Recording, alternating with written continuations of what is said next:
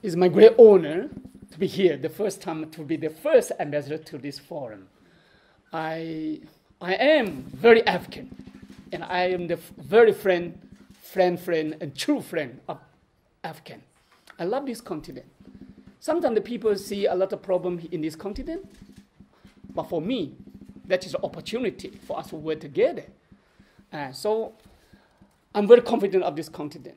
Although nowadays, for example, some because the local rand depreciated uh, uh, uh, so much, so a lot of negative news from China, from the world about this country, because they see something happen in Turkey, and some people concerned about it.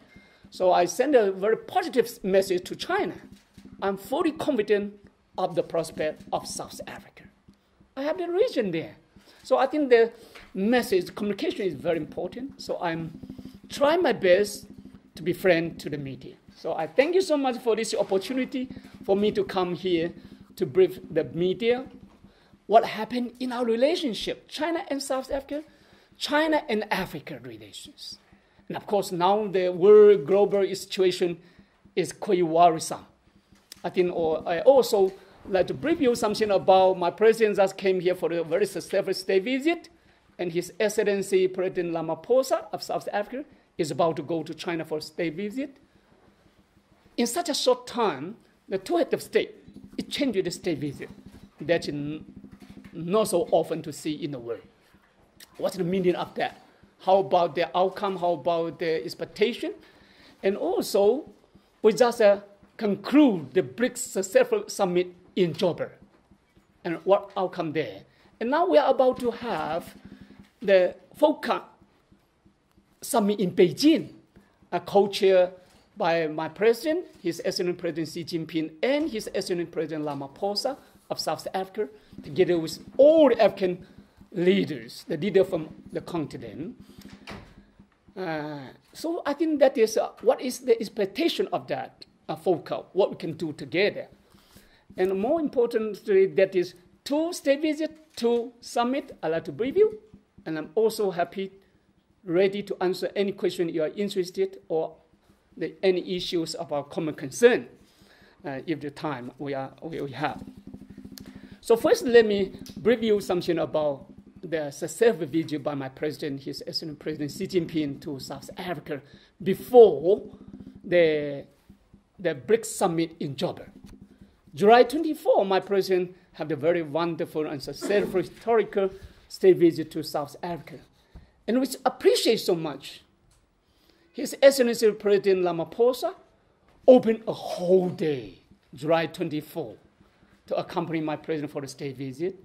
And of course, the very uh, formal uh, and, and, significant welcome ceremony, the meeting, uh, formal meeting, informal meeting, have a of meeting for a whole day. It changes the idea.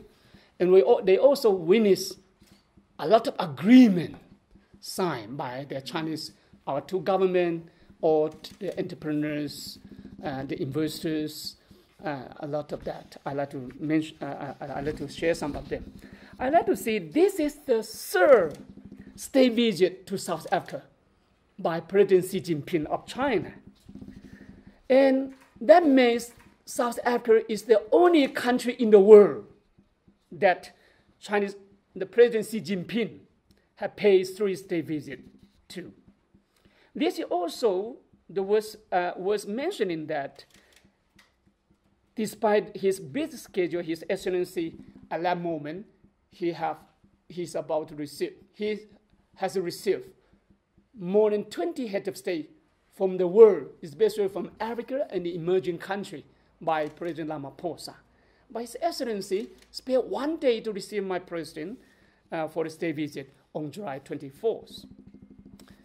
And very soon, His Excellency will conduct his first state visit to China and co-chair the Forum on China-African Cooperation we call FOCAC Beijing Summit. To together uh, with my president, to co-chair uh, the FOCAC summit.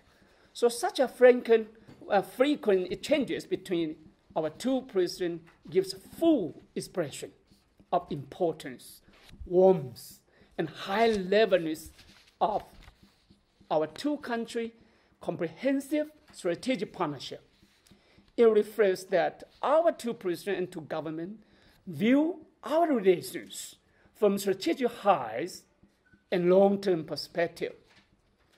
Because in our views, our relationship between China and South Africa serve the fundamental interests of the, our countries and our two peoples.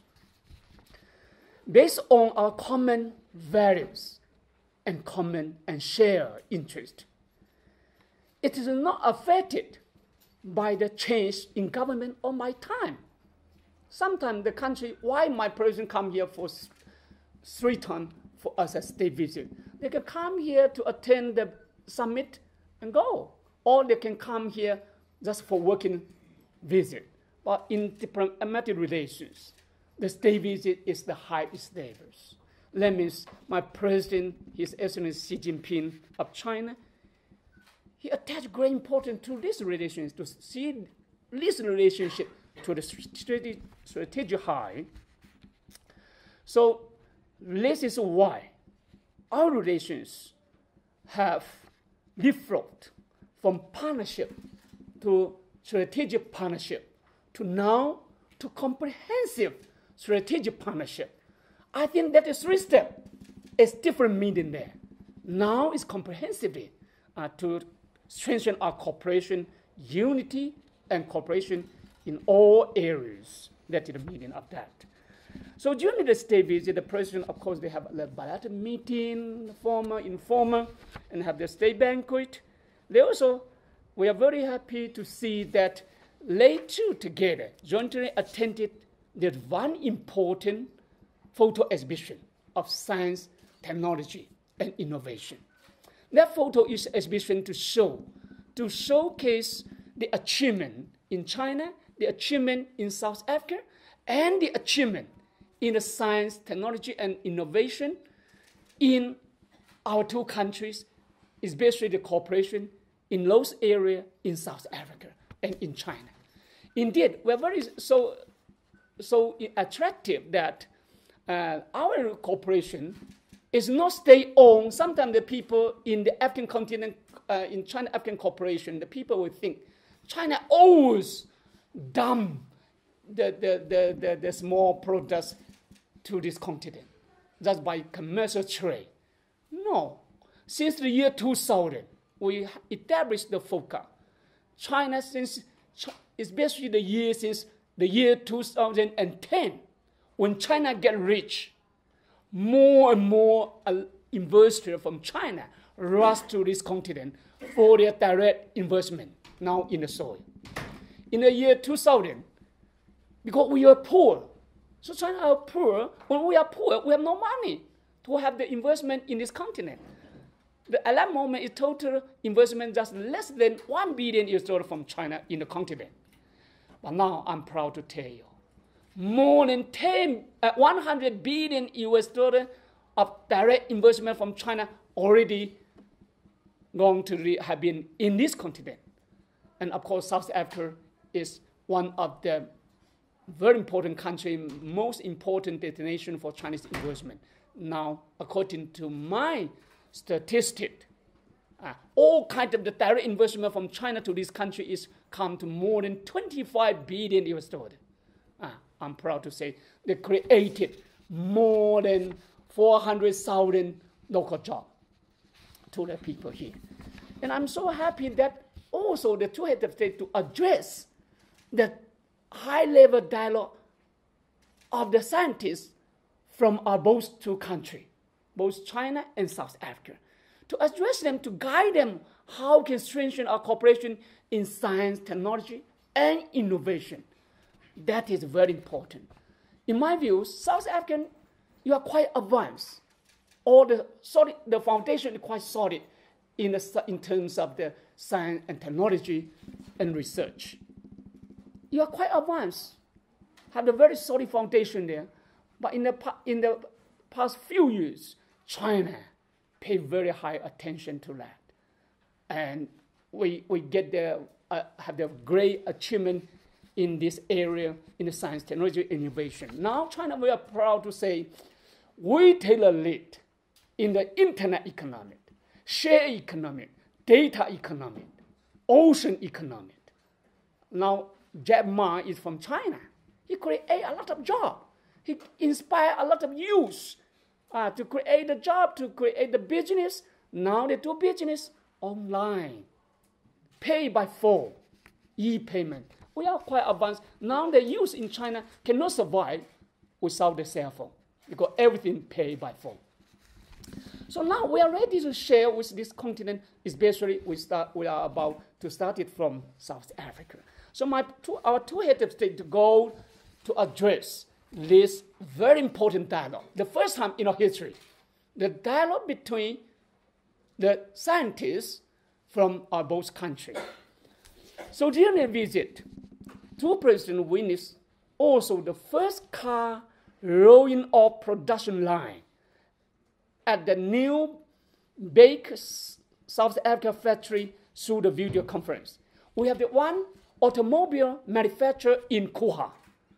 And that agreement was signed, witnessed by our, my, my president Xi Jinping, um, by our two heads of state in the year, the end of 2015, December 15. But now I'm proud to tell you that loading of production line ceremony is very important. With that to showcase our cooperation not only remain in a very low level, but manufacture. The manufacture and also at the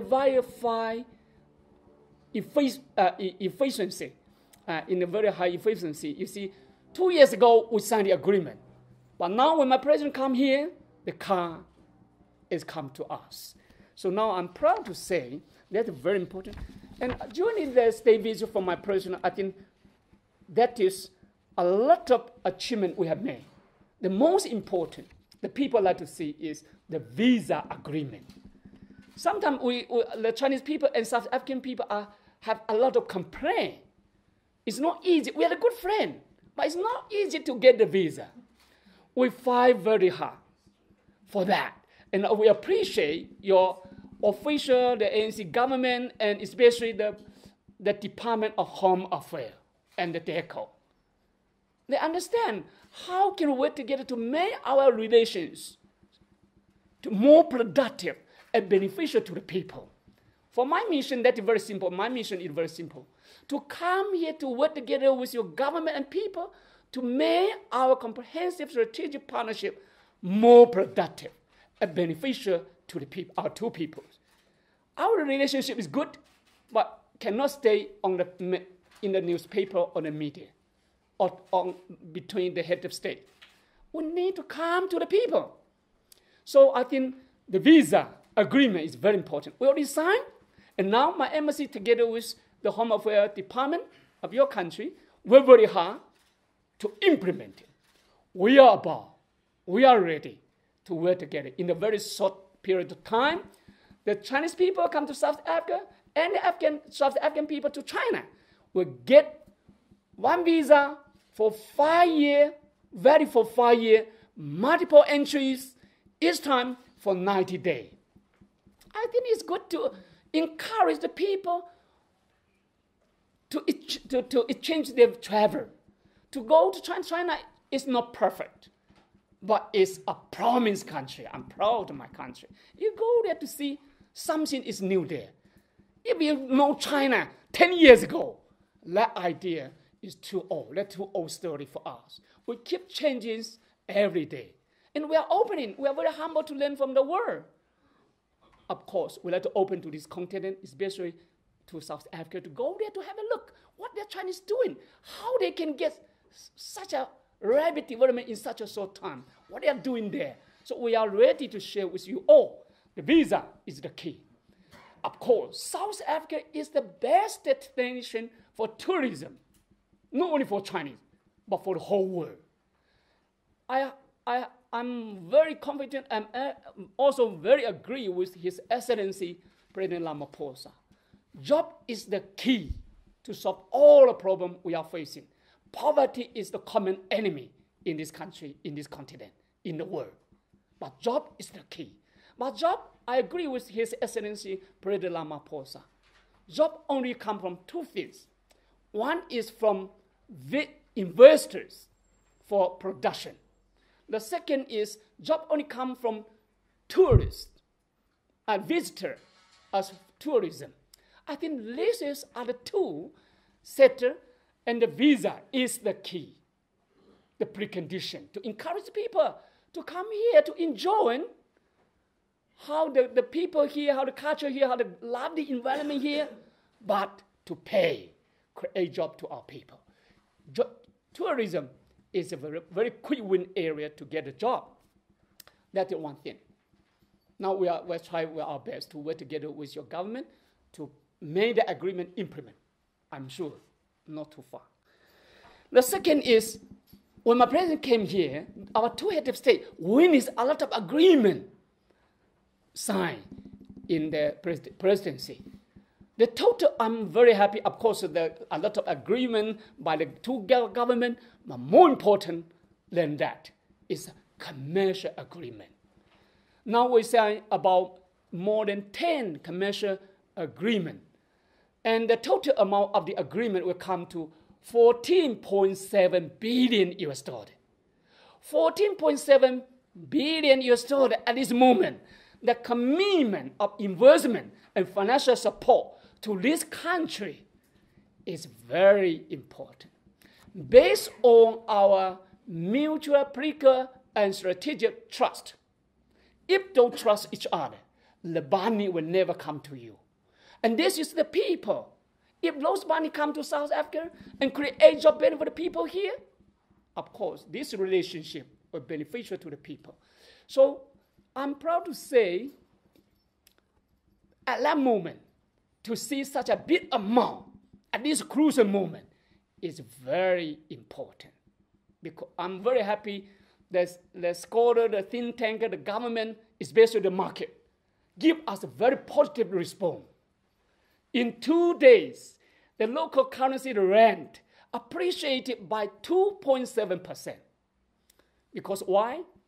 In the process, uh, in, the, in the pursuit of the social and economic uh, transformation led by His Excellency President Ramaphosa, he get the strong commitment from China, get the strong support from China.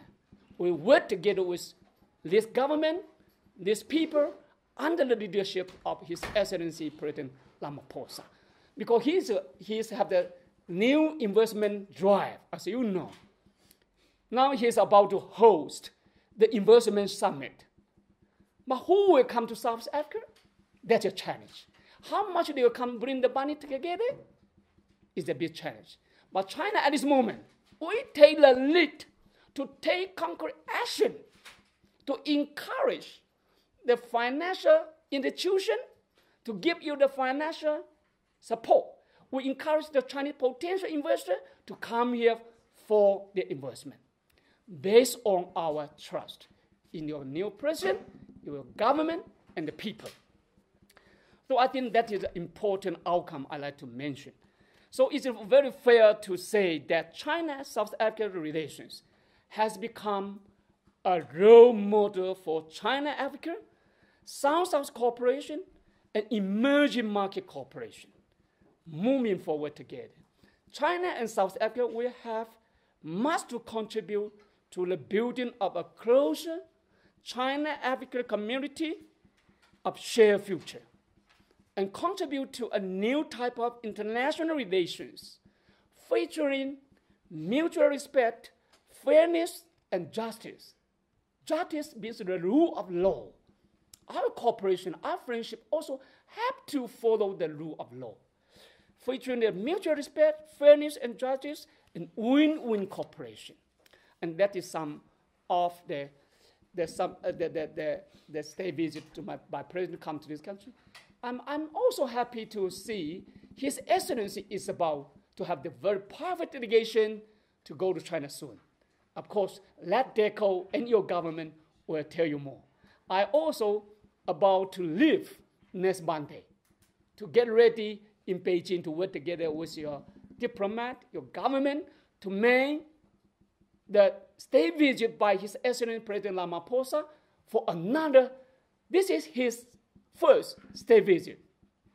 And I'm sure will be another very important and significant and historical state visit he paid to China.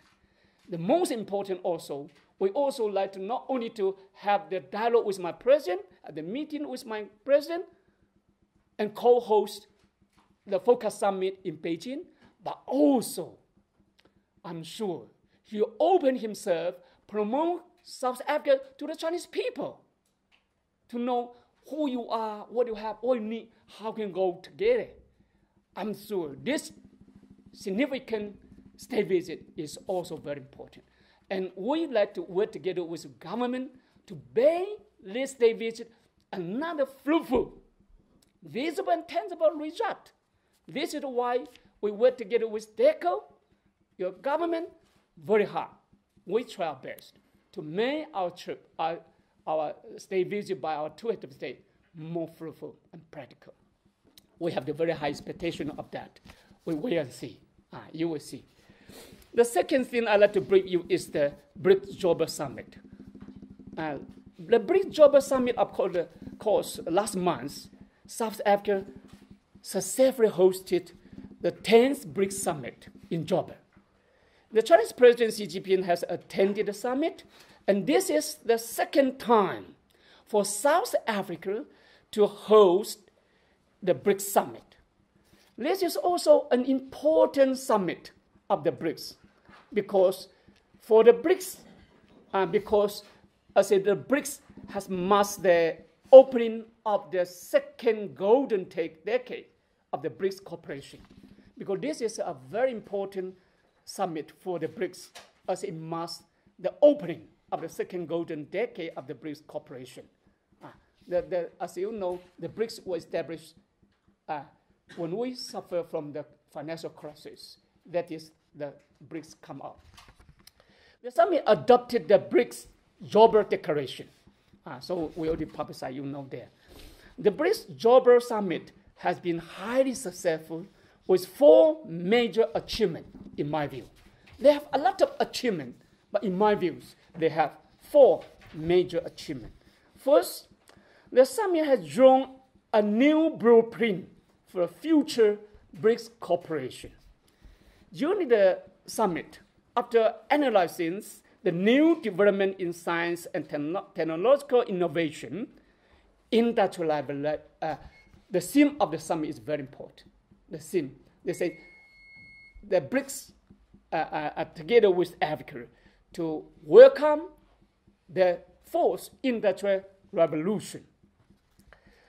So the, I think the, the, the industrial revolution and also digitalization. The BRICS country have unanimously agreed to seize the new opportunity for innovative and inclusive growth in the fourth industrial revolution. In this regard, one of the most important outcomes of the BRICS Joburg Summit is the adoption of the initiative a BRIC partnership on the new industrial revolution initiated by South Africa and China. The purpose of which is to deepen cooperation. The BRICS, uh, BRICS summit, they have a lot of meeting there. But I think they need the partnership, uh, more, the new platform for the people to sit together. How can we go together for higher levels, for to improve, to level, uh, to, to, to escalating our cooperation levels. The, the purpose of the partnership is to deepen cooperation in digitalization, industrialization, innovation, inclusive growth and investment, so as to speed up the transformation from old economic driving forces to new ones, as well as economic transformation and upgrading. The world has gone so far. Now, the digital, digitalization is already among us, not far from us. So I think that is very important, significant summit here. I'm very happy to share with you that the BRIC country has already agreed to establish an advisory group next month to work for the plan on implementation of this important initiative. You see, when China participates in any platform, in any multilateral mechanism, we like to see not only come to talk, but also to implement, action orientated. So after the agreement, we work together with DIRCO uh, of your foreign ministry that we need to set up the advisory group from thinker, from government official, experts, media together to, to work together where we can go together. I think that's a very important outcome we have achieved. The second is the new progress have been made in strengthening the economic and trade mechanism. How to benefit our two people? I think two driving forces is very important. One is the investment, economic and trade, and that is very important. So the BRICS have agreed to reconvene the trade promotion working group of the contact group on economic and trade issue, and have established new mechanism on law and technical standards, small and medium enterprises, and the outcome implementation. This new progress, a new mechanism, will make BRICS cooperation more dynamic, more institutionalized, and more concrete. The second action they have taken uh, is the BRICS have adopted the implementation framework for intellectual pro property rights cooperation mechanism. The implementation of framework, the framework for intellectual property rights cooperation mechanism, which will further strengthen cooperation in capacity building, information exchange, and network development. And the third achievement they have made is the endorsement of the framework for BRICS e-economic, e-commerce cooperation. Will enable capacity building and best practice sharing in narrow the digital gap. The first one they do is the BRICS Trade in Service Cooperation Roadmap and establishment of the BRICS focal point on trade in service will facilitate progress in exchange of information on international trade in service between BRICS member states. The fifth they do is, in addition, uh, the, the BRIC partners have also agreed to commission the review of the BRICS joint trade study on increased value-added trade to further reduce the trade potential of the BRIC countries to enable BRICS countries to effectively move up in global value change. We are confident of that. All of these achievements will further reinforce the unity and cohesive, cohesiveness of the BRICS countries and will inject new vigor into BRICS economic and trade cooperation in a new era. You can imagine the BRIC cooperation will not come here only to talk, have the meeting, the dialogue, but they have improved not only have the, the new mechanism, but improve their cooperation mechanism again and again so that to improve the efficiency in our cooperation and more, make it more fruitful. The third achievement the summit has made, in my view, is to send a very strong voice of fairness and justice to the world economy.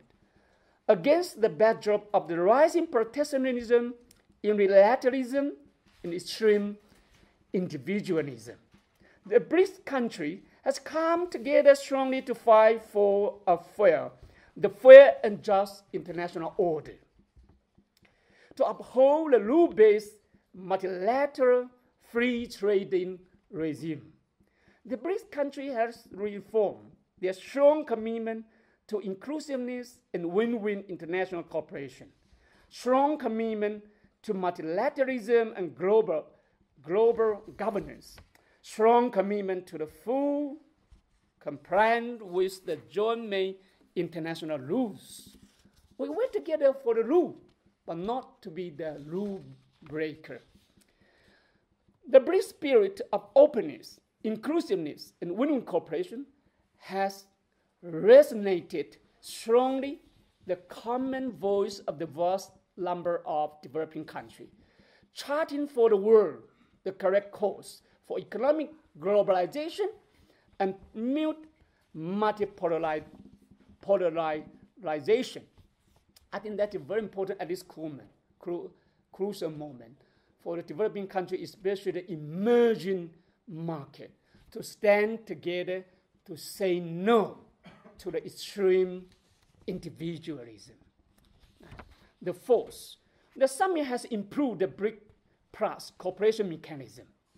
The BRICS is us for five countries, but now they, last year in Xiamen, the summit, we adopted a new model of cooperation. That means the BRICS is open to the all new partners. So we call the BRIC Plus model and expanding the developing partnership network.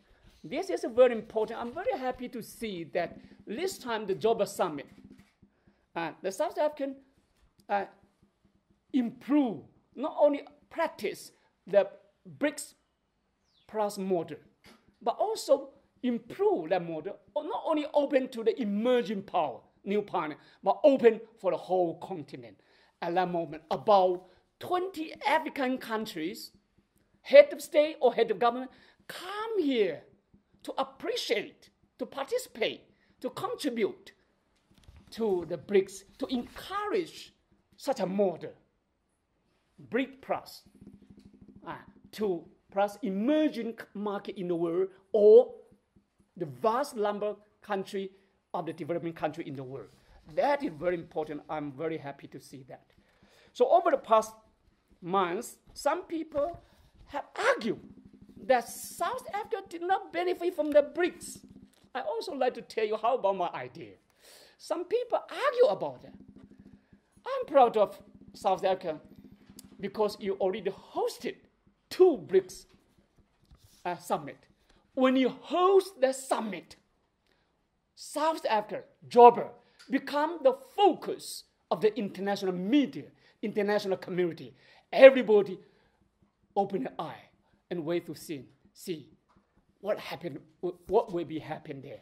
So I think it's very important, in my views, the decision made by South African government to join the BRICS serve the fundamental interests of the country, the nation, and the people of South Africa for four reasons I'd like to mention.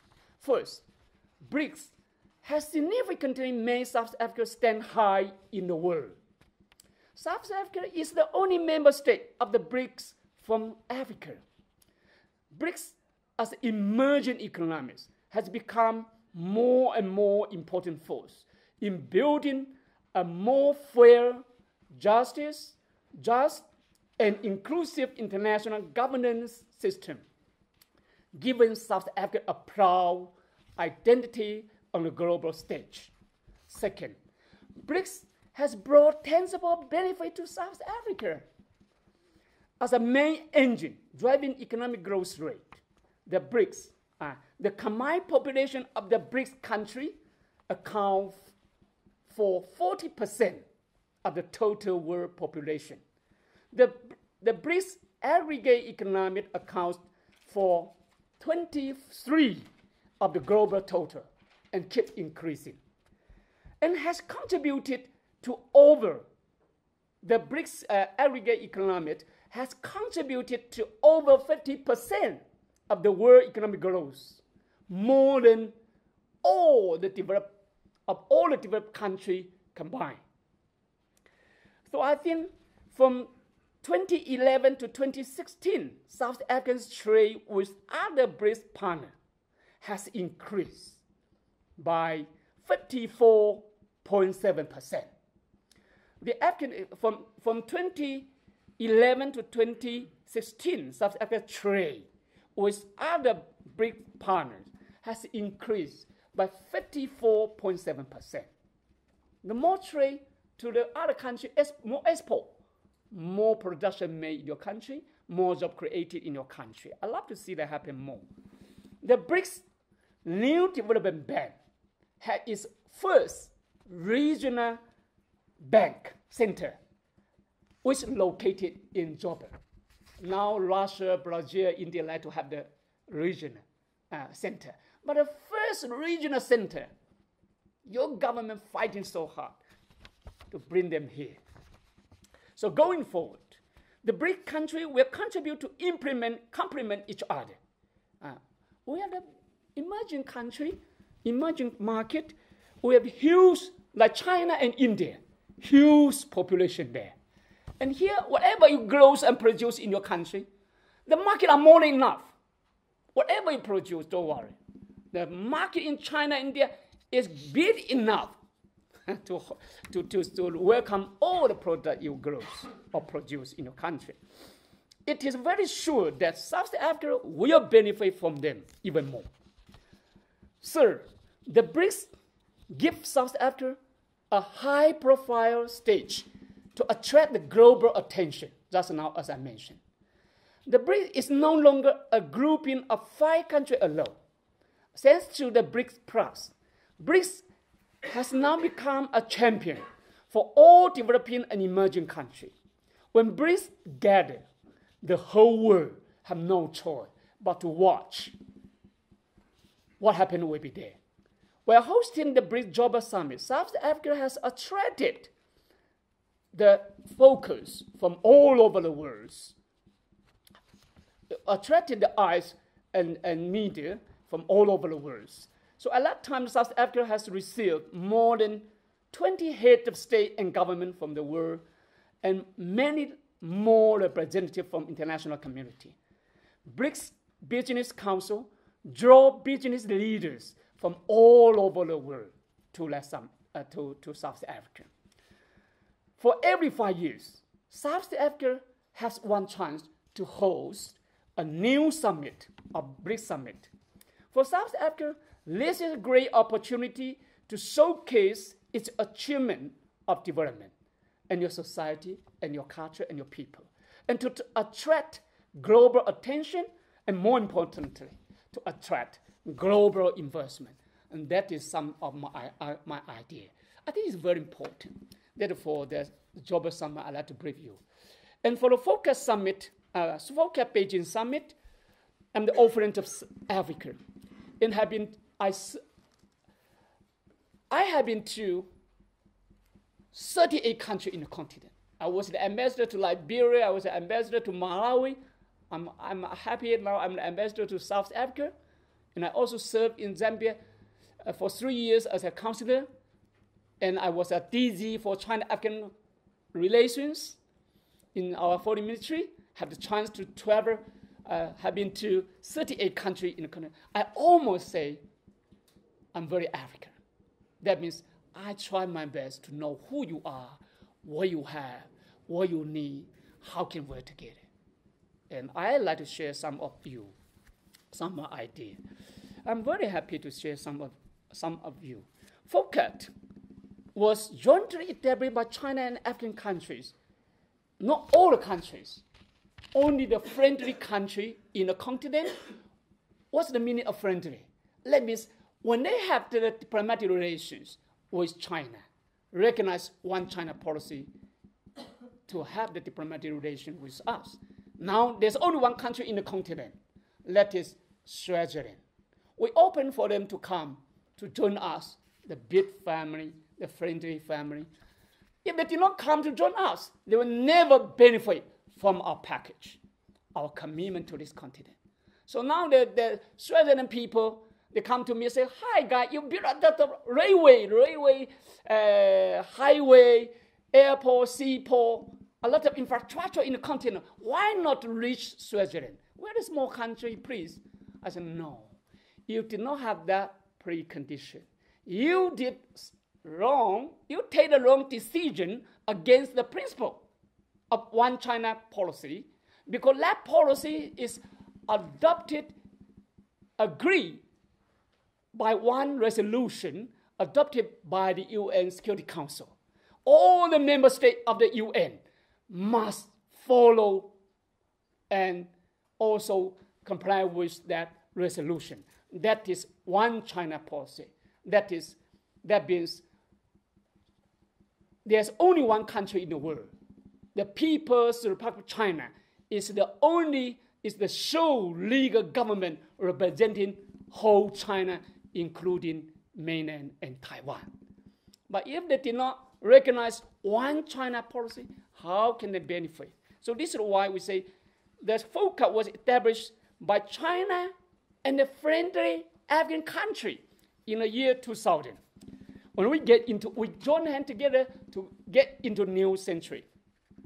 So over the past 18 years, FOCAC has grown tremendous in terms of the mechanism building, practical cooperation, and achievement. I'm very proud to say nowadays, the FOCAC has undoubtedly become the most leading, visible, influential, and high achieving cooperation forum for developing for development cooperation with Africa. You have a lot of the mechanism cooperation with different region. African one what? But I proudly, loudly to say, the FOCAC between China and Africa has become the flagship cooperation model for the international cooperation with this continent. In my views, the success of FOCAC is attributed to the three factors. Why I can say like that? I challenge them. Follow me. First, FOCAC has established comprehensive mechanism. Not only the forum to talk, but we have a lot of mechanism to implement all the consensus agreement reached and made by the head of state every time. Uh, so the mechanism, the forum has an improved mechanism for cooperation, including the ministerial conference, senior official meetings every year we have. Every three years we have ministerial meeting conference. Every one year we have senior official meeting for what? For monitor.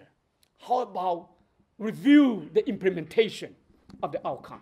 The follow-up follow-up committee on outcome implementation.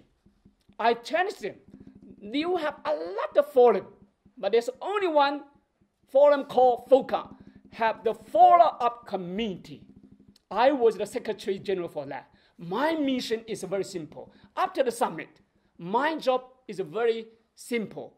To summarize the agreement we have signed, the action plan we have made, and distribute all the mission to different department ministry in China. And my job then, after three months, I will ask them how what is going on, how what is the progress there. They have to report to me, and then I will summarize and report to my premier and president's office. This is the progress of the implementation of the outcome. And whoever reluctant to do it, I will get their words completely original from them and send it back to my president and premier's office. So no one can deny. They, when my president and premier promise, we have no choice, no argument but to implement. That is the function of follow-up committee. So I challenge them. Whoever you have so many fo- fallen, let them have the follow-up committee. Let them honor the words, not empty thought. We also have the secretaries, And this is what I say I have. But I'm more happy today. I'm, I'm very happy to say now, more than 40 countries in the continent follow China to have the same follow-up committee. Some of them chaired by the president and prime minister. Some of them chaired by the minister. I'm very happy to see that because China, we come here to see the partnership instead of ownership. Whatever I, I can, what I like to do in this continent, in this country, I have no choice but to work together with your government. Because we come here to see the partnership instead of ownership. I cannot do by my own. So sometimes you complain, why we did not get the implementation in my country? I say, I'm sorry, I cannot do by my own. When you're ready, I'm ready. When you're ready and in condition, you will benefit most, first and more. But if you're not ready, don't worry, we'll respect you. Because if you're not ready, who can help you?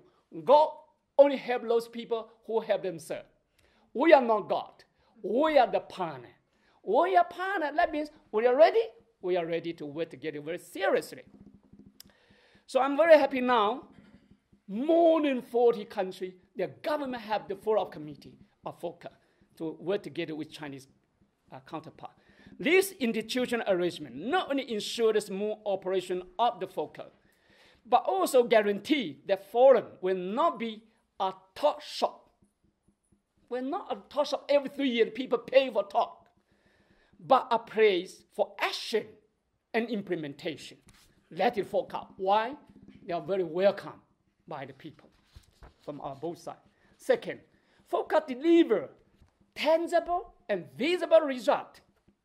China has never made empty promise.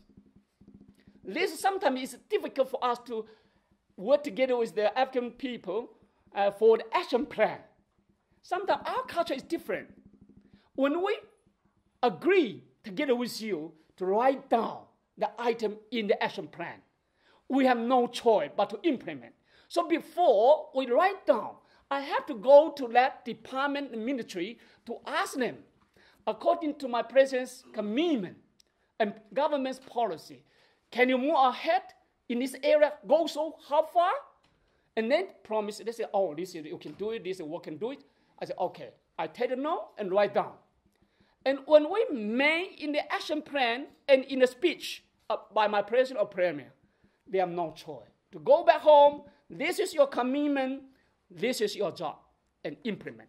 So this is where we are very cautious to make the promise. But whenever our leaders make that promise on behalf of the government and people, we have no choice but to implement.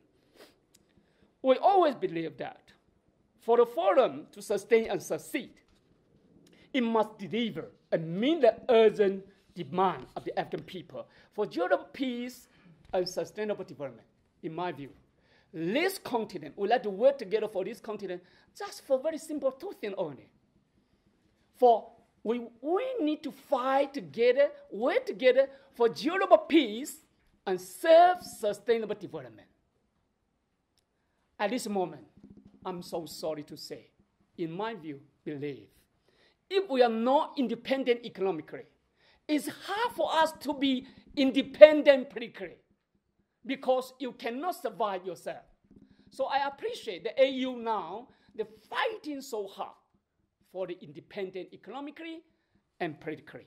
I'm happy to see that. You will get our full support. This is why China made our political commitment to work together, starting from politics affair is your home affair. It's your domestic affair none of my business. That is your home affair.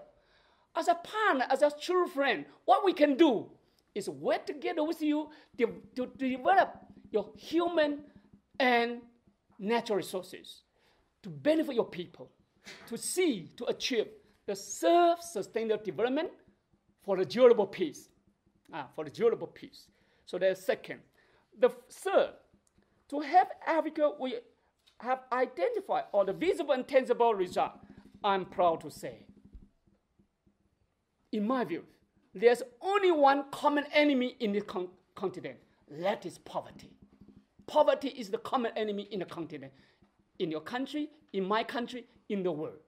If we are the poor country, China, we are not rich enough. We still have 30 million people living under poverty. We're fighting for that. By the end of 2020, China, with over 1.4 billion population, will be free of poverty. I challenge anyone in the world. Let us work together. For over 1.4 billion population,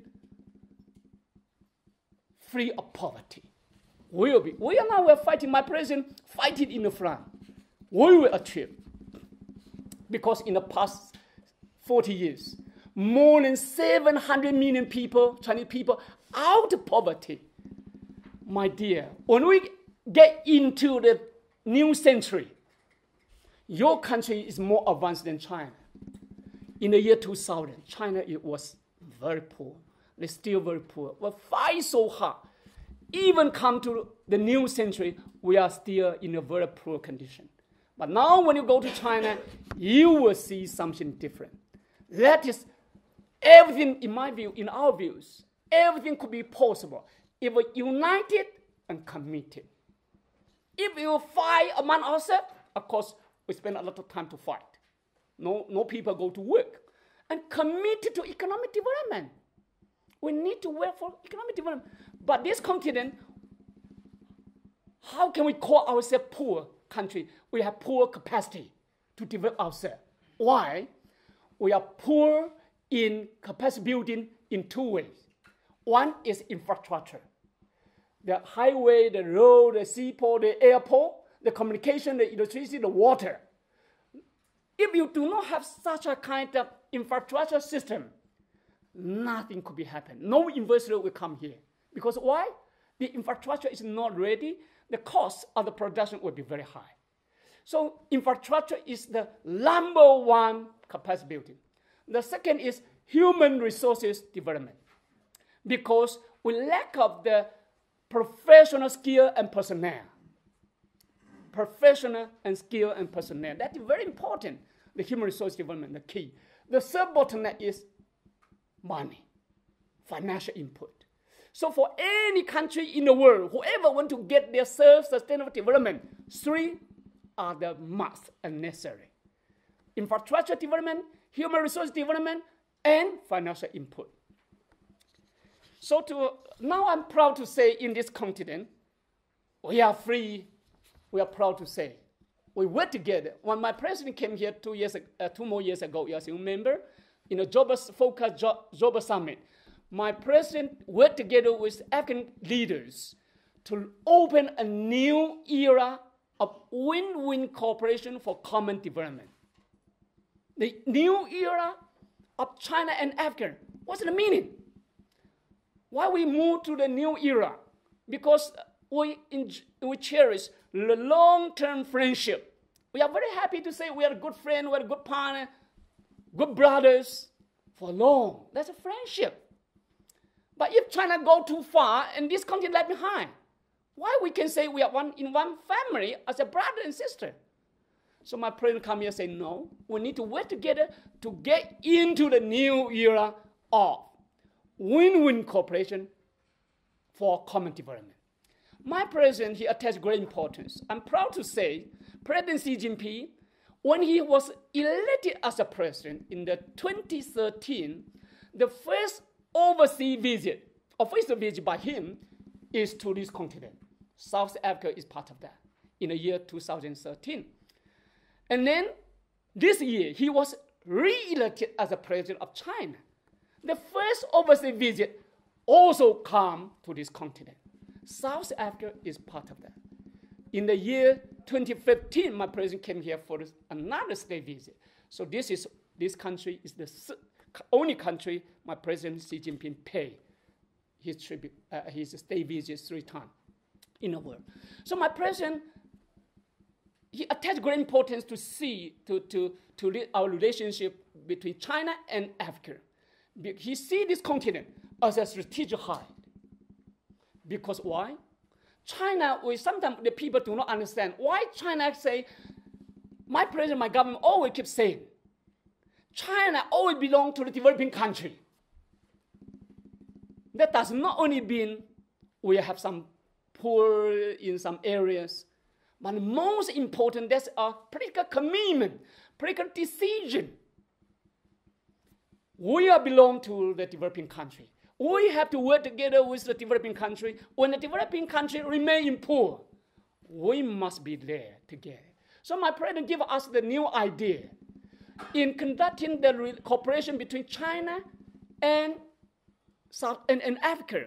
We have to follow the common values of friendship, justice, and shared interest. Friendship, of course, we know we are good friends. Justice, that means based on the rule of law. When we share interest, not common interest, because we have a lot of common interest, but some people share more or some less. But this time, my president say we use the word share interest because why? When we have the cooperation, we must be sure benefit two sides, share by two sides.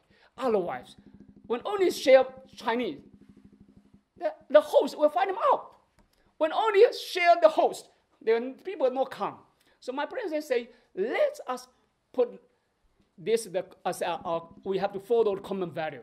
And I'm very happy the, the essence of this, the meaning, the core meaning of this, his idea is to put China's development, combine China's development, and help African development, sustainable development together to see the win-win cooperation for common development.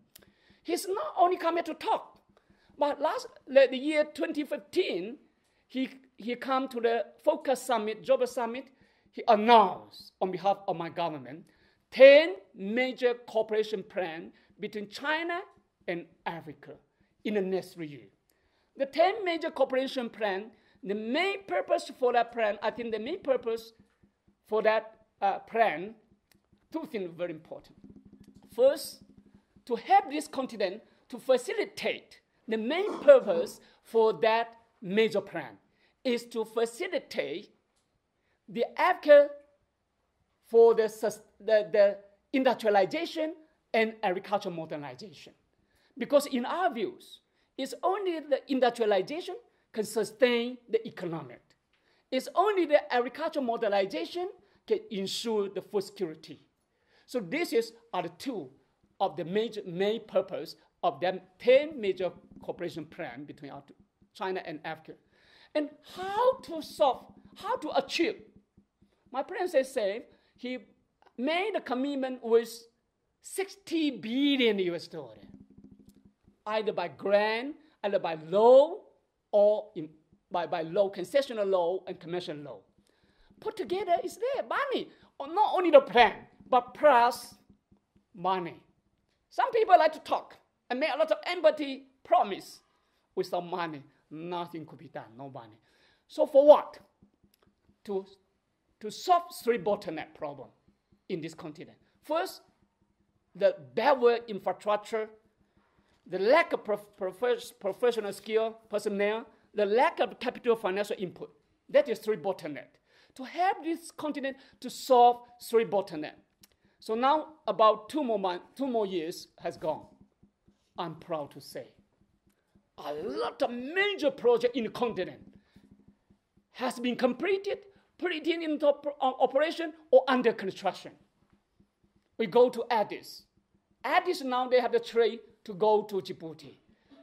As before, they, they need three to five days to transport cargo from Addis to Djibouti by car.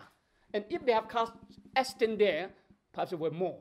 But now, it's about 15 hours or 7 hours, I forgot the number, just 7 hours. Overnight, the cargo from Addis will go to the world, go to the sea.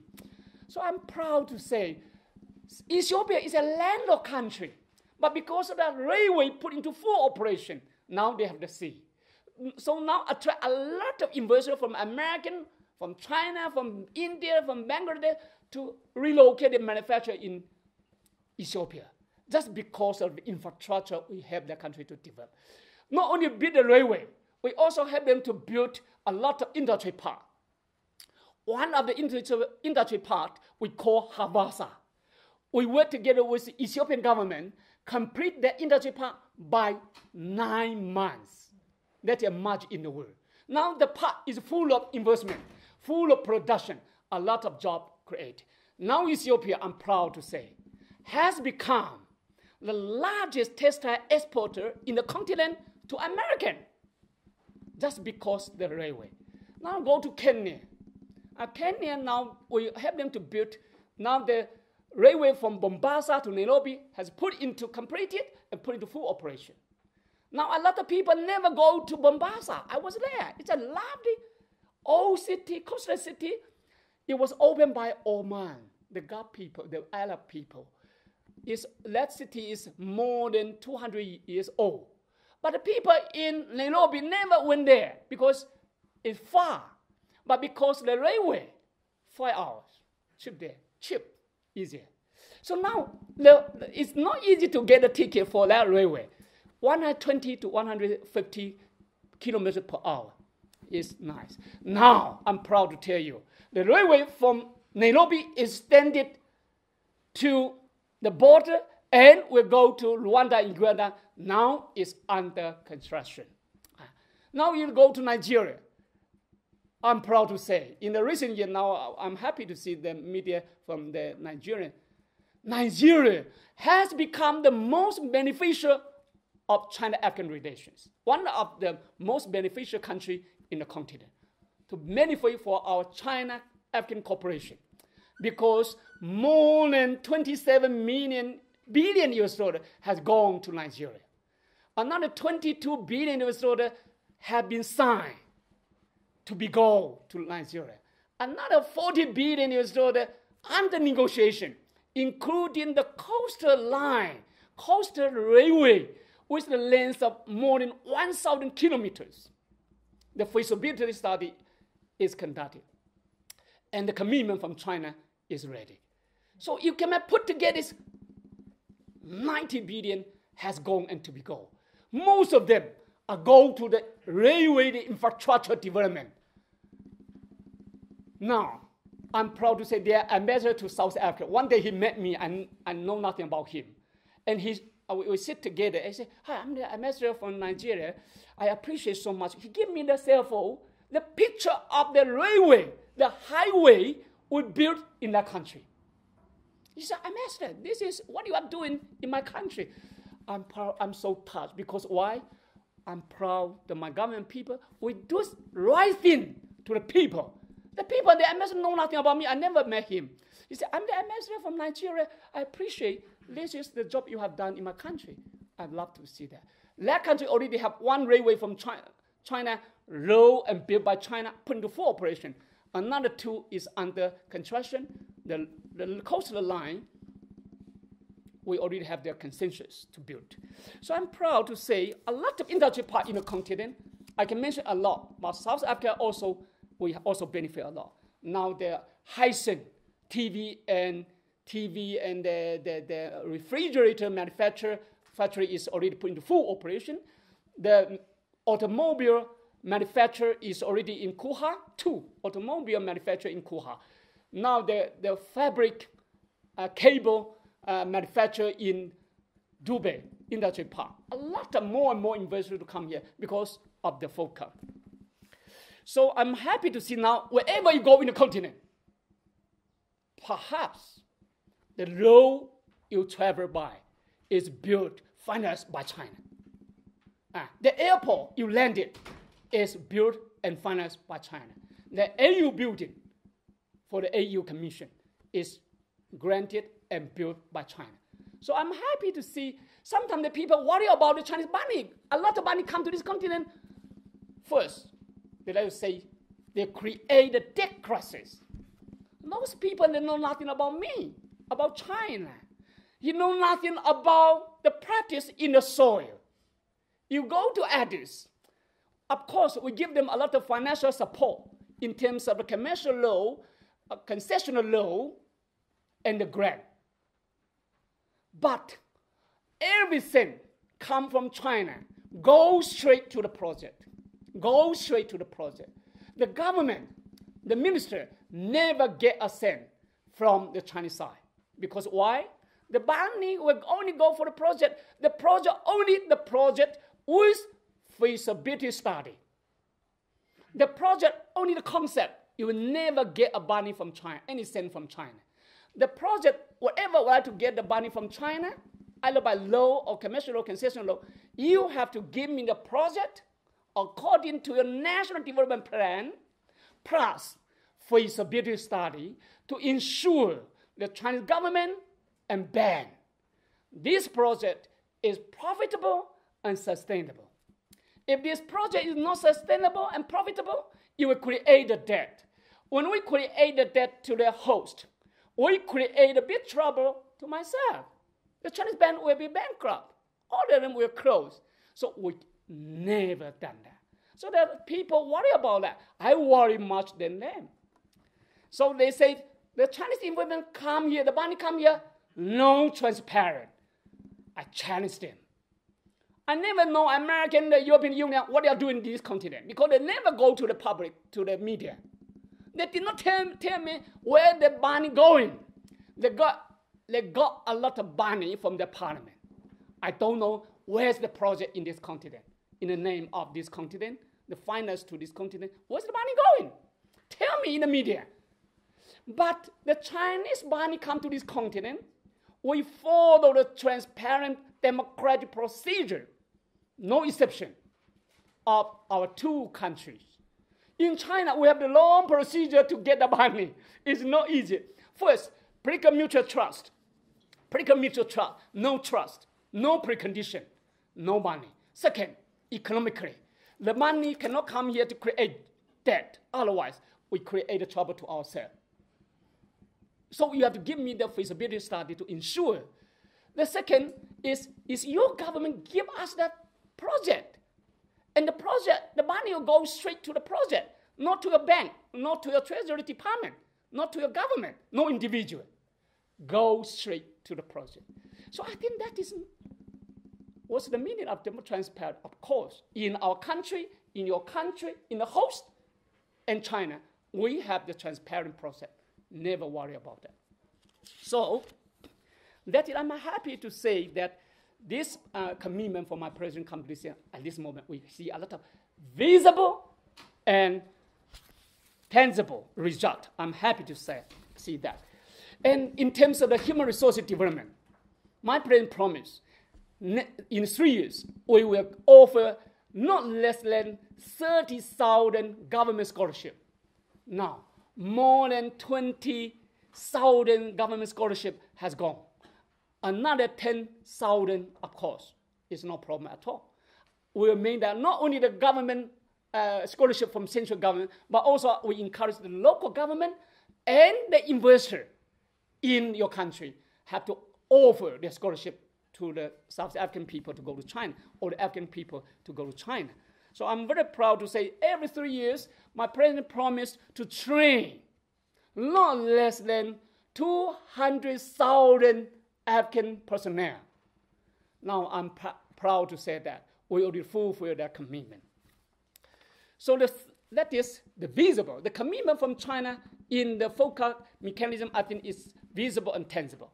The third, I think, the, the figure is the FOCAC follow the principle and common values of equality and mutual respect, efficiency and pragmatic approach, and win-win cooperation for common development. All the FOCAC members, regardless of their size, wealth, and population participant in the FOCAC are equals. We respect each other. No one is forced to do anything they don't like to do. Everything is based on consensus. Nothing is achieved through bullying. Uh, nothing is achieved through bullying. So every three years, the FOCAC makes a new action plan based on the condition and achievement need of the member state of this continent. The implementation of the action plan is carefully monitored and reviewed to ensure efficient and effective results. So under this FOCAC, the win-win cooperation for common development has become our common aspiration, common values, and common objective. And I think now that is some of the, the Joburg summit I'd like to brief you. The outcome is very positive. Now, how about the next? The, the FOCAC Beijing summit on the four, 3 to 4 September in Beijing. This is another new this is the third FOCAC summit in our history. And the first we have in Beijing is two, 2006. The second one is in Joburg in 2015. Now this is the third FOCAC summit will be held in Beijing. I'm very happy that how can we see some expectation for this new summit? Because now the outcome is the outcome, two outcome document will be adopted during the Beijing summit. One is Beijing Declaration. The FOCAC Beijing Declaration towards an even stronger community of shared future between China and Africa. And that is the theme we are working for. And the action plan for 2019 to 20, uh, 2021, and the next three years, I think will be adopted. That is the two uh, uh, outcome document we adopted. And now I'm thinking about how about, of course, now, because at this crucial moment, at this crucial moment, uh, the summit attract very high attention from the international community because globally we are witnessing a uh, sharp rise of protectionism and unilateralism and extreme individualism. The international governance system and the rule-based multilateral free trade regime is facing the gravest challenge and damage since the World War II. So under such a kind of circumstances, it is natural, it's quite natural, that the FOCAC Beijing summit has attracted the international attention or the attention of the leader in Africa and beyond. Now, 53 country, 53 African country in the continent, plus the AU Commission, uh, has confirmed attendance by the head of state, head of government, or their representative. The UN Secretary General and the AU chairperson will also be there. And some of the international uh, uh, international, the, the, the representative uh, from the international community will be there to join us there. The Beijing, the FOCAC Beijing summit will focus the theme. The theme is China, Africa, towards an even stronger community with a shared future through win-win cooperation. I think we always keep the win-win cooperation for common development.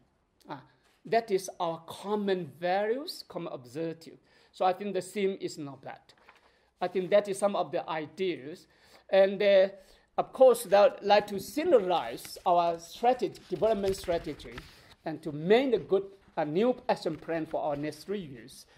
I think some focus, there are some major topics that we'll, we'll discuss, we can summarize. Uh, the FOCAC Corporation will continue this focus. I'm sure they will focus several things. First, will continue to focus to continue to address three bottlenecks in the continent.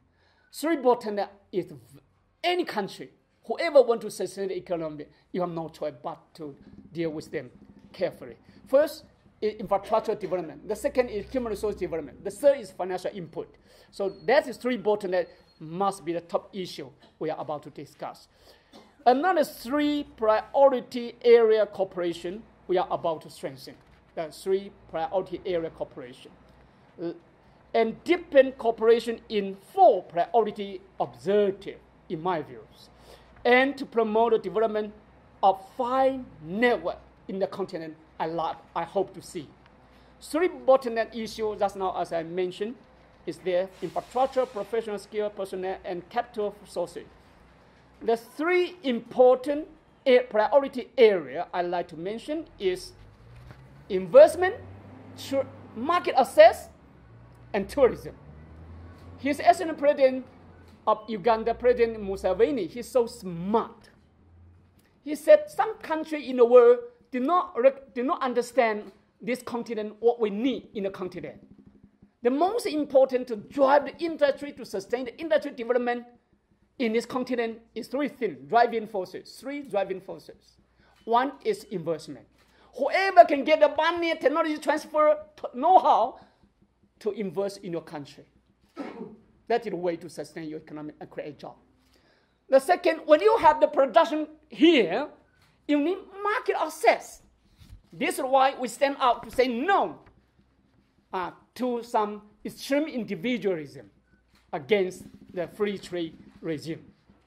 This is why. Because we need the market access to let it trade. And the third is the tourism. Let the people to come here to enjoy, to know each other, but to pay. If the people not, did not come here to, to, to see each other, how can you expect them to get the money from the pocket? So tourism is very key. Four priority area of cooperation, I like to say. Industrialization, agricultural modernization are the two key areas in this continent to sustain your economy. Now, I'd like to see we have to pay more attention to that. Is digitalization for internet economy, data economy, share economy, that economic digitalization. We must pay the very high attention because the fourth industrial revolution is come to us, has come to us and the urbanization. And the urbanization we have to pay attention to because most of the poor people are living in a rural area. The urban area is quite good, but the urban, the rural area still remain poor in the continent. So we need to put the urbanization as another one of our pilot area for us to cooperate between China. And the final network to achieve such an objective, five network are very necessary in the continent. One is the railway network. Now you have the railway, their country do not have the railway. If we have the network, the people facilitate the single market. How can we achieve the single market? Only by the five network. One is railway. Second is highway. The third is aviation, the air. Four is information, the cable, the communication network is very important. And also electricity network. Sometimes this country have coal, that country have the energy, the gas, that country have oil, but the other country do not have, have such a resource energy. We need to build a network. These five network of infrastructure are the key to help this continent to achieve the single market and economic, sustainable economic development. So that is some area I'm very sure that this continent, we have the, every region to believe that as a leader from China and Africa gather in Beijing, wherefore another historical and successful FOCAC summit. China and African cooperation will embrace a new era of win-win cooperation for common development, and will gather strength and momentum towards an even closer China-African community of shared future. This is what I like to feel. I like to a few words uh, to, to a few minutes to, to, to answer your question if you have. Okay.